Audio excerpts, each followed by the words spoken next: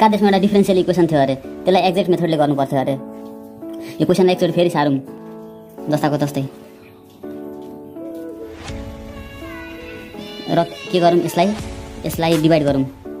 Dividing both sides by अब केले divide गर्ने? यहाँ वाइ छ यहाँ एक्स छ यहाँ एक्स वाइ छ। अनि सबैभन्दा धेरै कुरा त यहाँ छ।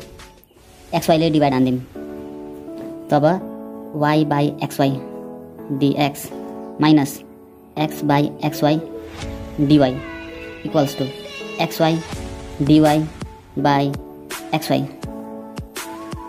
or y y x x सबै one by x dx minus one by y dy equals to यहाँ त केही छैन डिवाई यति भयो यो पनि एक्सको फङ्सन एक्स वाइको फङ्सन वाइ वाइको पावर जिरो वाइको पावर जिरो भनेको वान यहाँ वान त पक्कै पनि छ होला।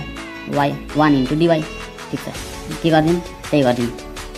Integrating final step integrating both sides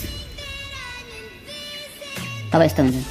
यस्तो one by x dx minus यस्तो one by y dy equals to integration dy or one by एक्सको formula log x one by वाईको formula log y equals to यो भनेको y power zero integration y power zero भनेको y power zero y power zero plus one divide by zero plus one plus c यो भनेको why plus C अब answer हेरौँ।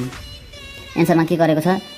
लग ए minus log बीको formula use गरेको छ। भनेको log a by b log a minus b भनेको log A by be